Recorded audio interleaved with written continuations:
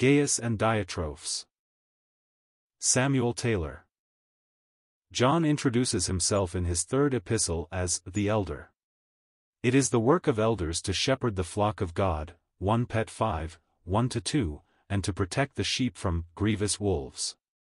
They watch over souls as those who must give account, in so doing, John the exemplary elder, directs Gaius and denounces Diotrephes. Gaius was greatly beloved. Why?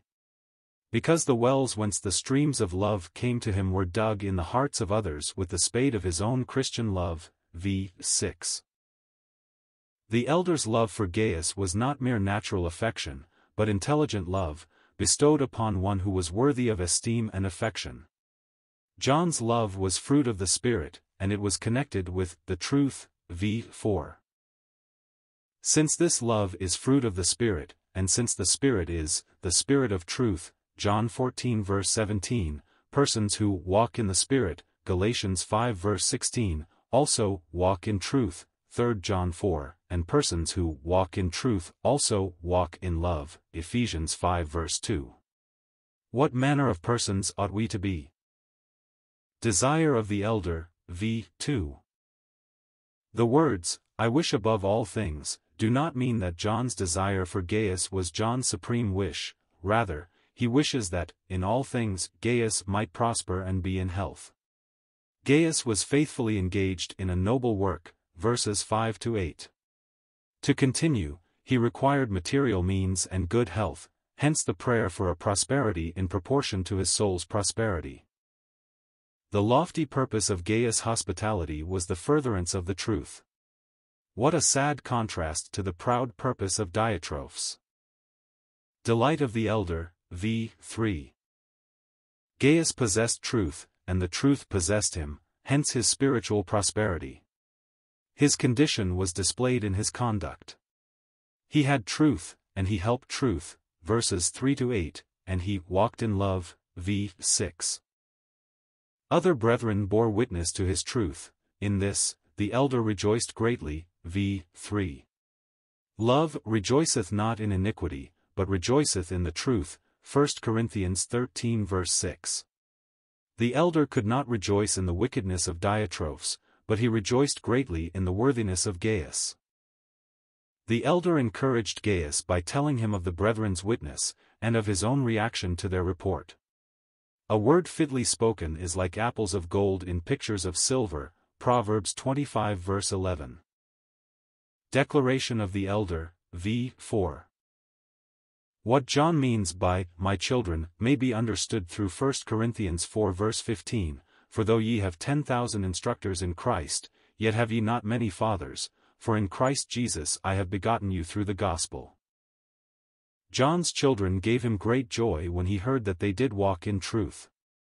The walk of Gaius produced an effect upon the elder, vastly different from that produced by the conduct of Diotrephes.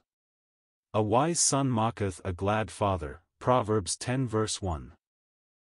Directions for Gaius, verses 5 to 8. Gaius' love was shown to the brethren, not as old friends, but as strangers. Gaius did nothing by partiality, cf 1 Timothy 5 verse 21. His work was in harmony with his character, v. 3.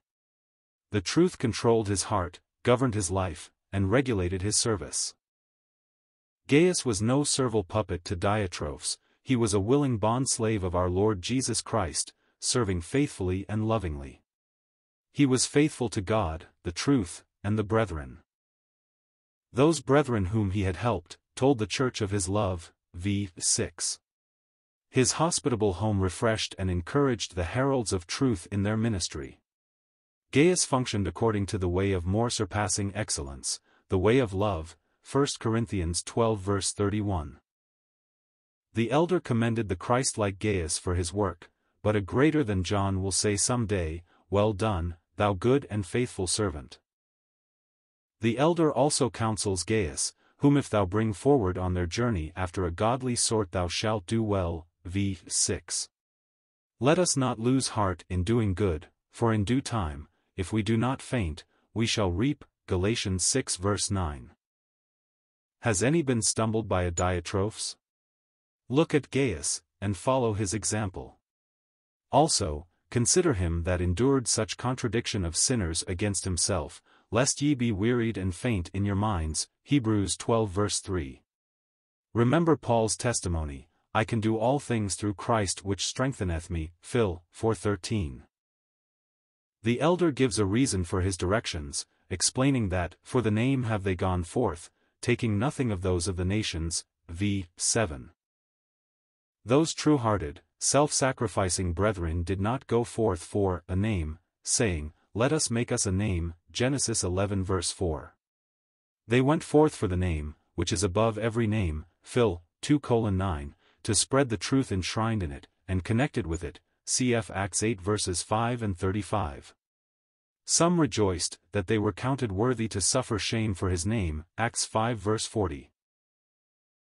Directions are given again, we therefore ought to receive such, that we might be fellow helpers to the truth, v. 8. What a privilege and responsibility. We should all be exercised by these weighty, searching words. God desires truth in the inward parts, Psalms 51 verse 6, and the Lord is a God of knowledge, and by him actions are weighed, 1 Samuel 2 verse 3. He says, I the Lord search the heart, I try the reins, even to give every man according to his ways, and according to the fruit of his doings, Jeremiah 17 verse 10. Search me, O God, and know my heart, try me, and know my thoughts, and see if there be any wicked way in me, and lead me in the way everlasting. Psalms 139 verses 23 to 22. In ministering to those who spread the truth, we identify ourselves with the truth, and become fellow workers in it. Gaius was a helper of the truth, but Diotrephes was a hinderer. Denunciation of Diotrephes, verses 9 to 10. Diotrephes love to have the preeminence in the church, v. 9. Twice only is preeminence used in the New Testament, in connection with our adorable Lord, and in connection with Diotrephes. The latter's love of the first place shows how far removed he was from communion with our Lord, and from the teaching of the Scriptures, cf Colossians 1 verse 18. Luke 22 verses 24 to 27. He was a tyrannical leader, lording it over God's heritage. His name means, nourished by Jupiter, and the name fits the man. In Roman mythology, Jupiter was the chief of the gods.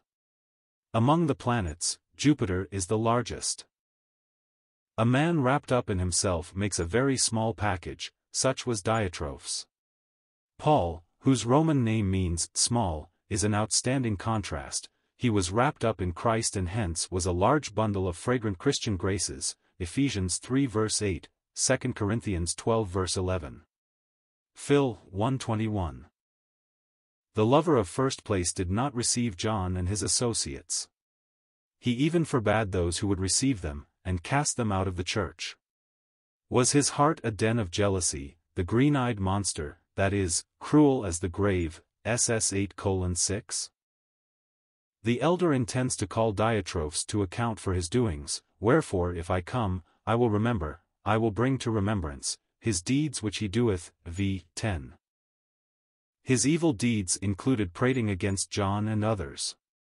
He was making false accusations with malicious words and intense ill will.